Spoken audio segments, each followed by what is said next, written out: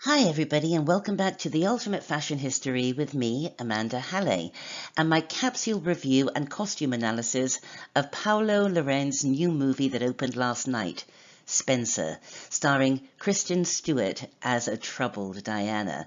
I'm going to start with my costume analysis and then move on to my capsule review and thoughts about the movie as a whole.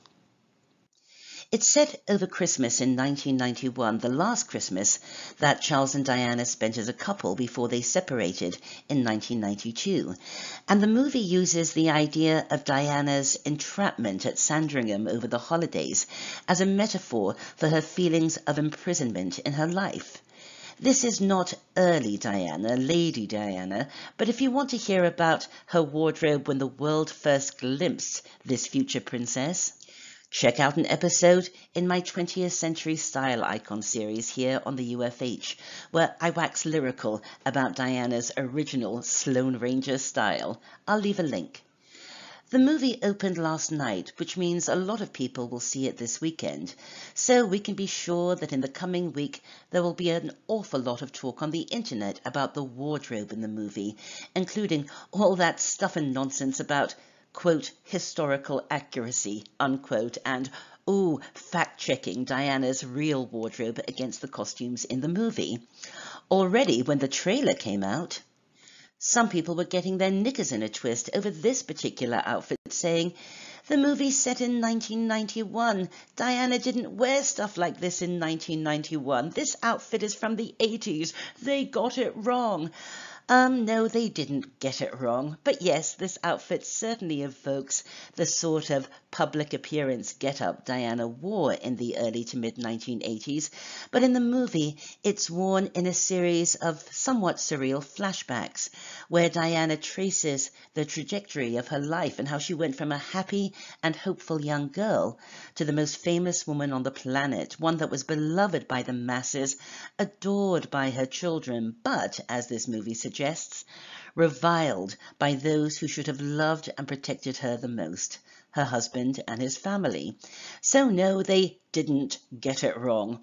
Although I actually read somewhere on the internet when the trailer came out that they got it wrong because Diana never wore an outfit like this in yellow. She wore an outfit like this in red. They got it wrong. You know, sometimes I think that people have forgotten what a costume designer actually is. The clue is in the title. They are called costume designers, not clothing replicators. And the costume designer for Spencer was cleverly quick to remind the world of this. As if she needed to, for the costume designer for Spencer is none other than two-time Oscar winner Jacqueline Durran, arguably my favorite contemporary costume designer, not least of all because she created ah, one of my all-time favorite movie gowns of the past 20 years or so. Jacqueline herself says that not a piece of costume for Kristen Stewart was an exact replica of anything Diana wore, but that she wanted to, quote, give the aura of Diana in this era, which she absolutely did.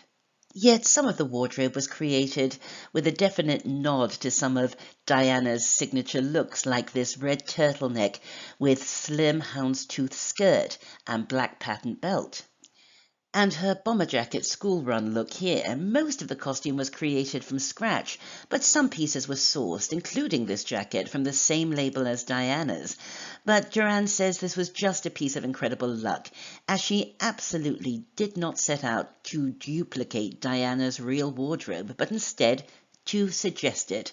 And she nailed it, which means we get a lot of brass button blazers and baseball caps and the huge sunglasses that marked Diana's off-duty look of the early 90s.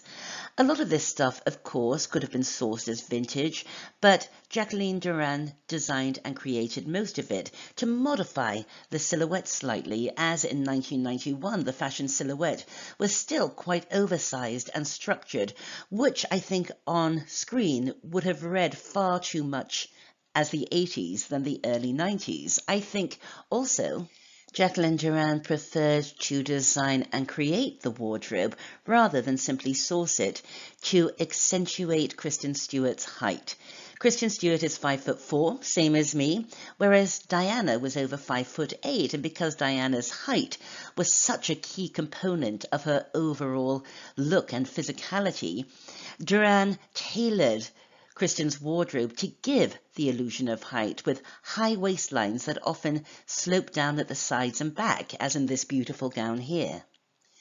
She also beautifully communicates some of Diana's other iconic fashion moments, and I use that word communicates very deliberately, for a costume designer's job is to do just that, to communicate a character, an era, a mood. A costume designer is part of a movie's narrative team. They are storytellers, not replicators, Anyone who can sew well can do that, surely. And I'm not saying it's easy, but it's not the same job as being a costume designer. And so I'm giving Jacqueline Durran's costumes for Spencer an absolute 10 on 10. Before I move on to my capsule review of the movie, I have an awful feeling that over the next few days we're going to see a lot of this. Who was the best Diana?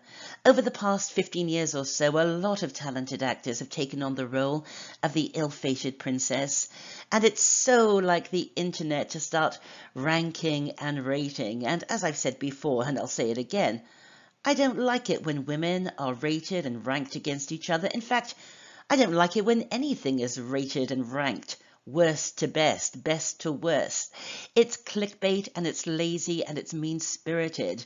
So can we not do this? Is it not enough to celebrate who and what we like without slagging off who we don't like and what we don't like?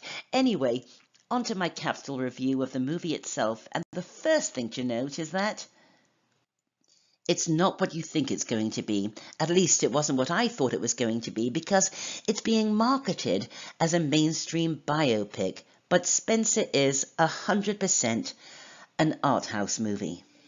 It opens with the words, a fable based on a true tragedy, and the story is told entirely through Diana's own perceptions, some real, some imagined. It is sumptuous to look at, with beautiful locations, breathtaking cinematography, jaw-dropping interiors, and a very particular lighting that gives it a dream-like quality. And although moments such as this from the movie's trailer suggest that it might be a bit like The Crown, it is absolutely nothing like The Crown. In fact, the Queen only has one short piece of dialogue, Charles has just a little more, but no other adult royal has any dialogue at all.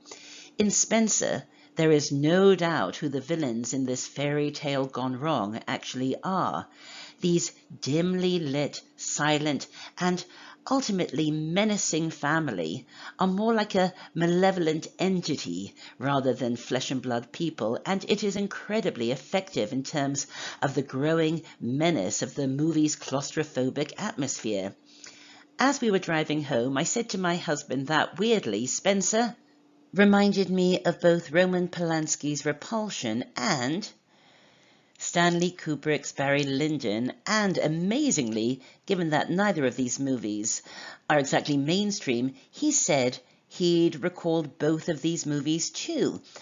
Both Repulsion and Barry Lyndon fall into the realm of art house, and that includes being somewhat on the slow side, which Spencer undoubtedly is.